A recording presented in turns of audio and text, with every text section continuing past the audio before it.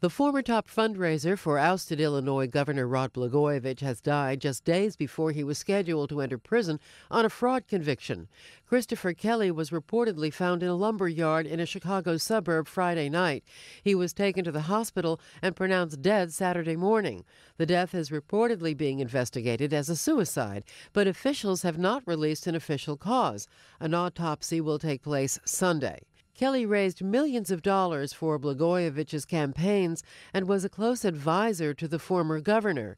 He was charged in the indictment claiming Blagojevich tried to sell or trade President Barack Obama's former Senate seat. Kelly was not cooperating with federal prosecutors in the case. The 51 year old was set to begin what was expected to be eight years in federal prison on guilty pleas to fraud and corruption charges.